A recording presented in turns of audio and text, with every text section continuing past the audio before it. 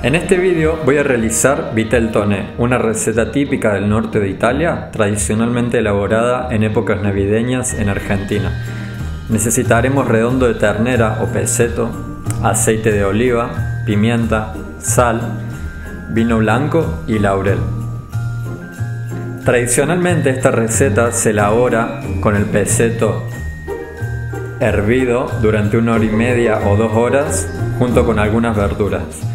Pero aquí estoy buscando en una pequeña variación darle una coloración, un tostado y una presencia mayor a la carne, por lo cual previamente he fileteado la carne. Debemos salpimentarla y dejarla reposar durante un momento antes de comenzar a elaborarla.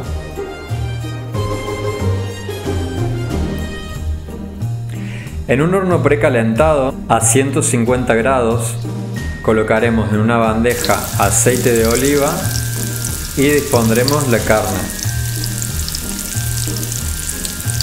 La dejaremos 5 minutos de un lado en el horno, luego lo sacaremos y la daremos vuelta.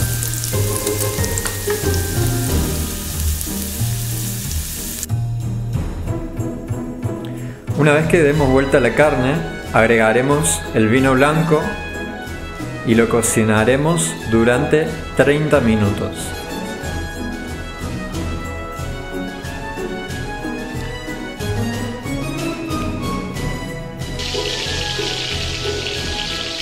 En este punto además le he agregado el laurel. Luego de 30 minutos lo retiramos del horno y ya lo dejamos reposar hasta que enfríe. Paralelamente comenzaremos con la salsa vamos a necesitar atún, mayonesa, yema de huevos, anchoas, mostaza, alcaparras, perejil, zumo de limón y opcionalmente el caldo de la carne. Colocaremos en una jarra primeramente la mayonesa, la mostaza, las yemas de huevo y la pimienta.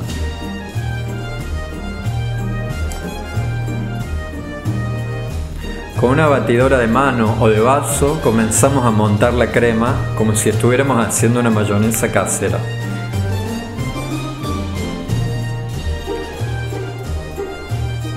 Una vez que tengamos ya la textura buscada, seguiremos agregando los ingredientes. El atún,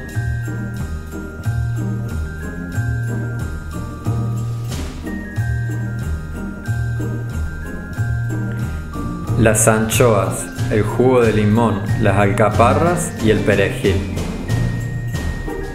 Como dije, opcionalmente, si necesitas que la salsa quede un poco más líquida, puedes agregarle el caldo de la carne cocida. En este caso no me ha hecho falta, porque me ha quedado lo cremosa que quería.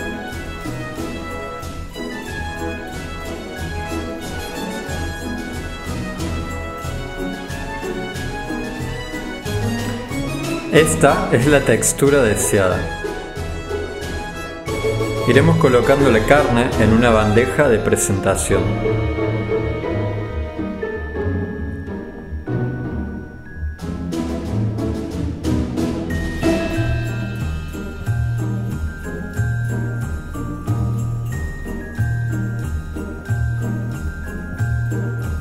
E iremos poniendo una capa de carne, una capa de salsa, otra capa de carne y completamos con la salsa restante. Tradicionalmente en Argentina, o al menos en mi casa, esta receta se come con bastante salsa, para así poder acompañarse de pan o mojar cualquier otra preparación. Por lo cual siempre nos ha gustado que sea abundante. Con una cuchara esparcimos la preparación por toda la fuente.